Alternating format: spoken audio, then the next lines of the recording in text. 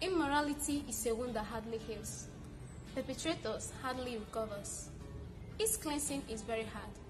So reject, forget, forsake, denounce and avoid it. God is love. But anyone who does not love does not know God. But anyone who loves is a child of God.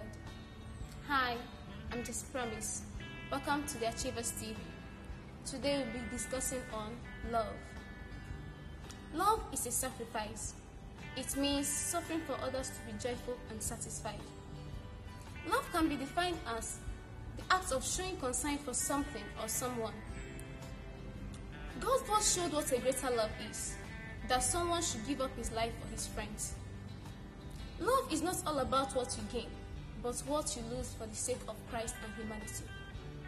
Love is strong, deep affection for someone or something, selflessly without condition, but because of God.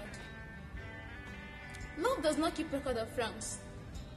It is of prime importance to know that God loves us and commanded us to reciprocate by not only loving Him, but extend it to all mortals, both enemies and friends.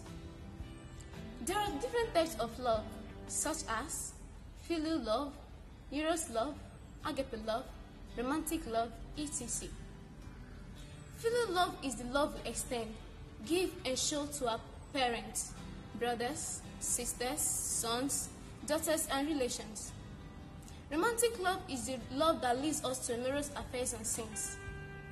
It is this love that has deceived and confused us into believing that St. Valentine's Feast is an opportunity which sanctioned and supported us to indulge in fornication and adultery.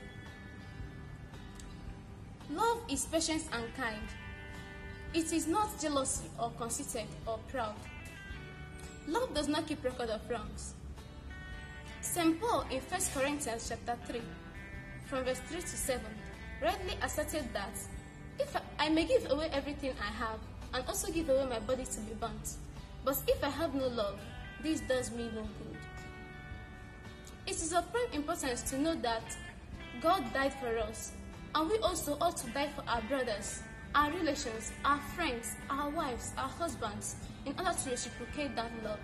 The true and only supported love agreed by the church, God, and all moralists is agape love, which is the ultimate love that will lead us to a life of holiness and righteousness.